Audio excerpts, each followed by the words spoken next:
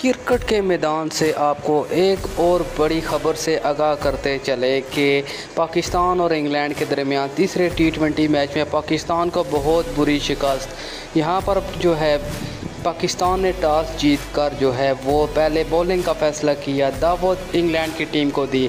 तो यहाँ पर जब 221 रन का हदफ इंग्लैंड की तरफ़ से पाकिस्तानी बल्लेबाजों को मिला, यहाँ पर अगर बात करें बॉलिंग लाइन की तो पाकिस्तान की बॉलिंग ज़ीरो रही, लेकिन बैटिंग की तरफ़ आएँ तो बाबर आज़म आठ रन पर आउट उनके साथ मोहम्मद रजवान भी आठ रन बनाकर आउट और हैदर अली तीन, जबकि इफ्तार अहमद छः रन बनाकर आउट क्या ऐसी होती है बल्लेबाजी? और उसके साथ साथ शान मसूद ने छियासठ रन बनाए तो पाकिस्तान को शिकस्त।